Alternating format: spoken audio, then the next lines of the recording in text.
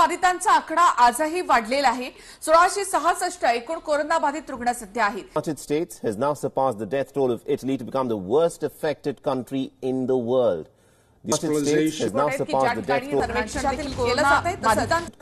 in the world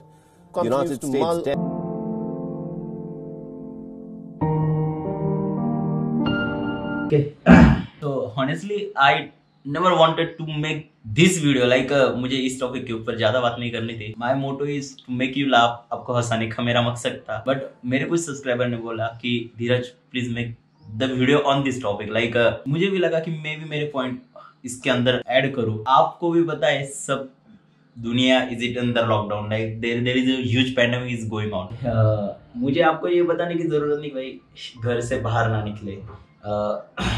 unless and until आपको बहुत ही ज़्यादा इंपॉर्टेंट काम है। मुझे आपको ये बताने की बिल्कुल भी ज़रूरत नहीं कि आपके हाथ सैनिटाइज करते रहे हैंड वॉश कीजिए। But thing is what I just wanted to share my experience with you currently I am in Shirpur Dhulia में शिरपुर तो मैं जस्ट बाहर गया था भाजीपाला लाने के लिए लाइक वेजिटेबल्स वगैरह लाने के लिए। जो मैंने देखा like peoples are not really consider this into matter like people लोग ज़्यादा इसको सीरियस अभी भी ले नहीं रहे यार। आज तारीख है ग्यारह अप्रैल और कल की बात है, दस अप्रैल को न्यूज़ आई थी कि धुले में, सकरी में एक कोरोना पॉझिटिव्ह अभी अभी है। मतलब this can be dangerous for us माझे मोस्ट ऑफ़ व्ह्युअर हे, खानदेश मधून बिलॉंग करतात लाईक धुळे, शिरपूर, या साईड नाशिक, त्या साईडचे बिलॉंग्स करतात माझ्या खानदेशी मित्रांना एकच विनंती आहे, सर्वांनाच विनंती की प्लीज़ विनाकारण कोणत्याच कारणाकरता म्हणजे मोस्ट ऑफ़ तुम्ही ट्राय करा की घराबाहेर न निघणे.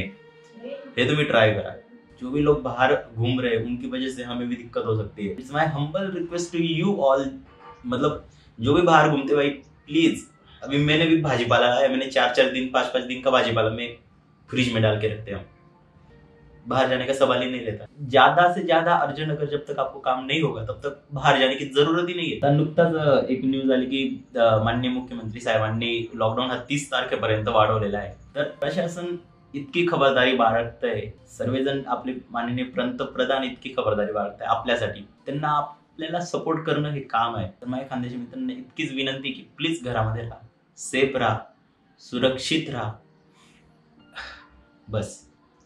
या व्हिडिओ मागचा संदेशच इतका होता. जर तुम्हाला वाटलं असेल हा व्हिडिओ शेअर करण्याचा आहे तर कृपया प्लीज शेअर करा. थँक्यू